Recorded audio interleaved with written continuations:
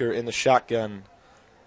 He will hand off to Conrad McMahon, and he's into the end zone for the touchdown.